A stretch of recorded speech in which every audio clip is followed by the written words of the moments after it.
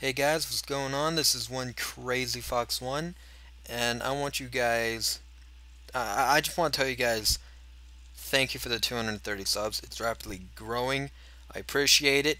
I never thought I'd get 230 that fast, and I never really thought I'd get past 200 and you know 50. And it looks like the way it's going, I'm definitely gonna get past it pretty soon, actually. So I just wanted to tell you guys, thank you for watching my videos. Thank you guys for all your positive comments, everything. I really love you guys whenever you guys, you know, have fun. That that's what I do. I make sure that you guys have fun above anything else except for me having fun, but you know, we'll get to that later. Anyways, um if you guys are, you know, wondering where videos are at right now, I just want to show you guys something. Yeah. um they're uh they're coming. They're coming, it looks like. I have the videos, uh, you know, edited at least. At least the LSD ones. I gotta get Twilight Princess, um, I gotta start working on that afterwards so that I have a steady stream of videos to go up.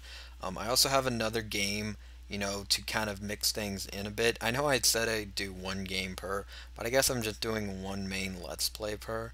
I don't know. I'm...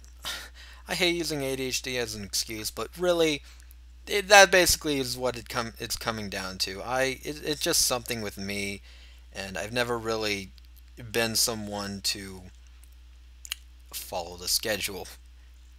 So with that being said, I thank you guys for you know all the videos you guys have watched, all the positive comments, all that, and um, um, I guess I'll see you guys in the um, well, I guess you get to hear me talk more in the um, LSD video that's coming up uh, today, as well as the ones tomorrow. And I hope you guys will enjoy Epic Battle Fantasy 4 because, yep, that came out yesterday. And oh boy, yes, I will be doing a Let's Play on that. So, if you guys like that, um, thank you.